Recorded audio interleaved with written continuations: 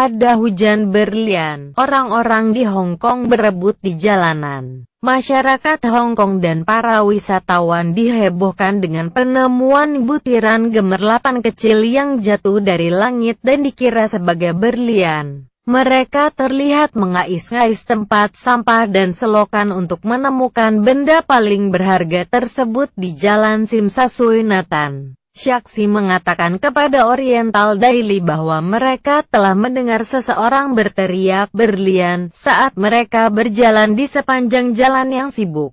Sementara itu beberapa orang yang lewat segera turun ke jalan dan mulai berebut benda tersebut sehingga terjadi hiruk-pikuk. Terlihat sekelompok orang dalam jumlah besar tiba-tiba berhenti memperebutkan benda mineral tersebut. Kami awalnya bingung mengapa orang-orang berjongkok di jalan dan ternyata mereka berburu berlian kecil, kata saksi tersebut.